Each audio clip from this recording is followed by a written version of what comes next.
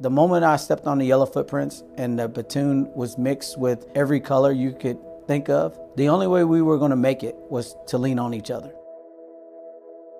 My name is Sergeant Major William C. Carter. I'm the Eastern Recruiting Region and the MCRD Marine Corps Recruit Depot Parris Island Sergeant Major.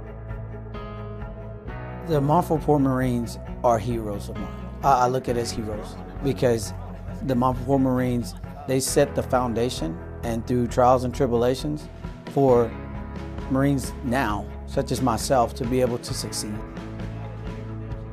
If we were segregated, if, if we were still that way, will we really be surviving? And for what they went through to get us where we are now, it, it just it, it, sends chills down my back because it's like that's the reason why we're here.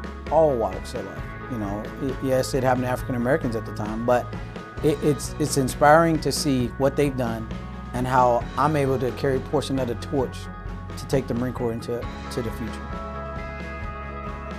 I, I just want us to reflect back and know that it's not just a we're talking about African American history this month, or it's not that we're, we're talking about Hispanic heritage. It's, it's we're one. And, and we need to realize that the only way we'll survive in this world is if we survive together.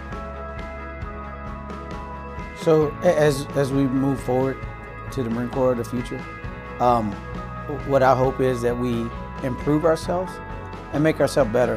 And as, as, as you all, your generation, you're, you're smarter than what we were when, when, when I was young, which is a good thing because it's a positive because I know the Marine Corps is going in a positive direction. The impact that I hope that, that I have left on, on folks is that to just remain humble. You know, be confident in your abilities that you'll do well, but just remain humble.